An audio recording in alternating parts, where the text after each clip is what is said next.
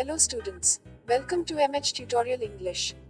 Today, we will discuss about the Barlow's wheel. What is Barlow's wheel?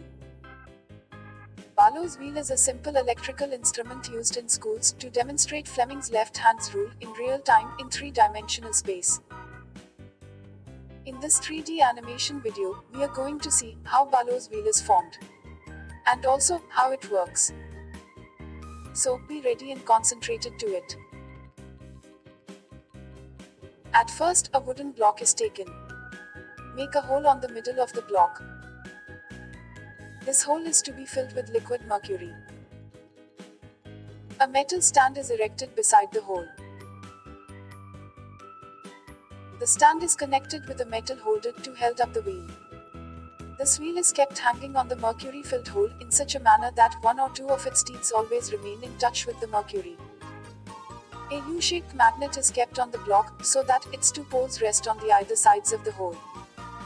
Magnetic field always oriented from the north pole to the south pole. These green particles are moving along the magnetic field. Two metal pins inserted on the block. A 6 volt battery introduced. A conducting wire is taken out of the stand and is connected to one of the pins. Again, another wire is taken out of the mercury and joined with another pin. Further, these two pins are connected to either pole of the battery. So, this connection closes the circuit. Thus, you witness a flow of current through it.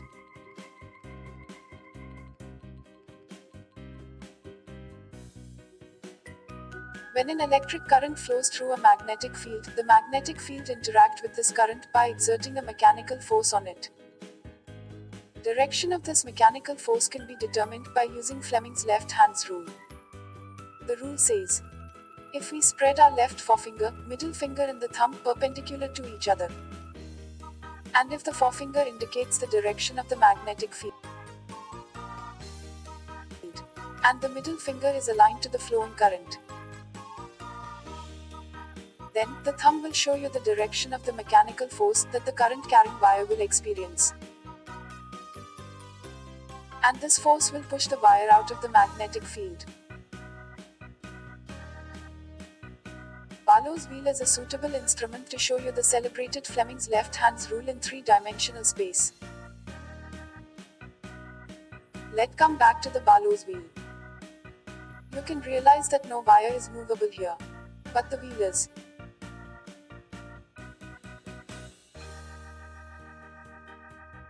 Compare the situation with the left hand. Magnetic field is in the direction of the forefinger. Look at the blue arrows. It indicates the magnetic field. The two red arrows shows the direction of the electric current. The current is flowing along the middle finger.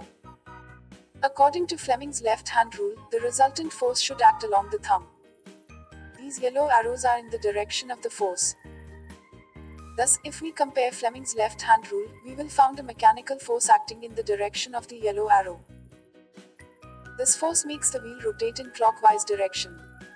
But once it rotates a bit, another tooth of the wheel will come in contact with the mercury. And connection established again. Again, the wheel rotates. Again. Another teeth come in touch with the mercury. And thus, it keeps rotating.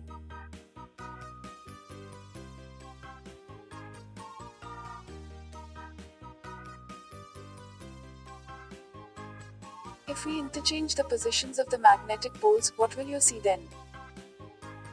Let's see.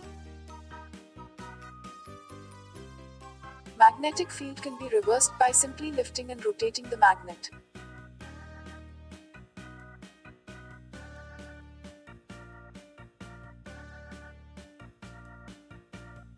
Okay there.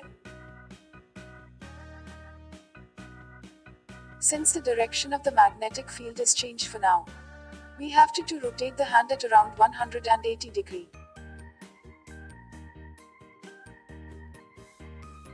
That's okay. Now the magnetic field is aligned to forefinger. These blue arrows indicate so.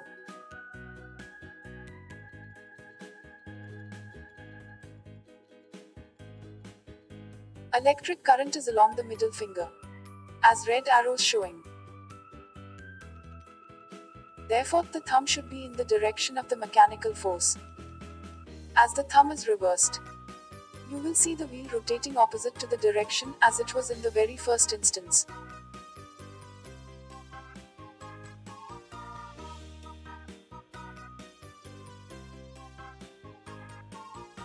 The wheel is now rotating counterclockwise.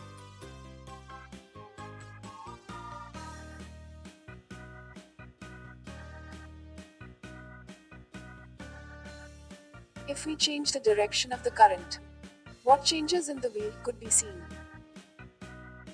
Let's see.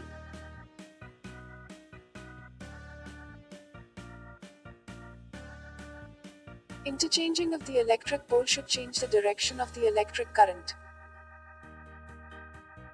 Just move and rotate the battery. And reconnect the wires.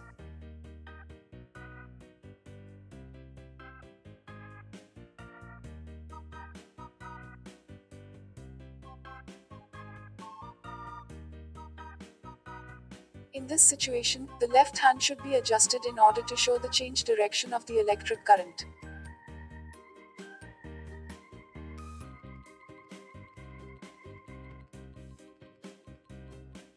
Magnetic field is in the same direction of the forefinger as before.